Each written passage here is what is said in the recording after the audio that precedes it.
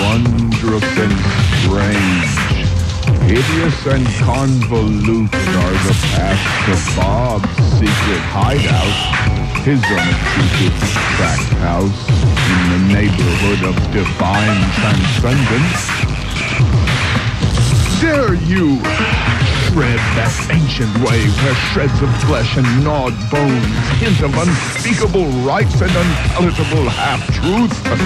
Oh, there are no shortcuts to Bob, my friends. Like a blast of hot wind through the very bowels of the earth, you must pass through the sphincter of the conspiracy's mental and emotional constrictions into the disciplined dissipation of true slack where you can sit midst the rage and fusion of nature's most elemental powers without a worry in the world. What have you got to lose?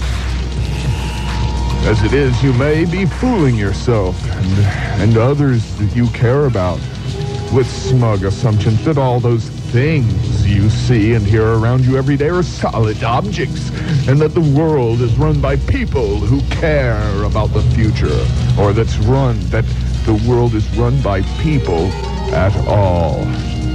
Right! You may as well put yourself in the hands of some smiling, pipe-smoking, bland-face innocuosity whose seductive promises of satisfying sex and ill-gotten gain seem suddenly irresistibly attractive. Give yourself to Bob, freely, joyously, without an atom of restraint. Now! Do it now! And all your worries are over forever, my friend. Don't laugh. Don't laugh. Yes, it's Subgenius Boot Camp.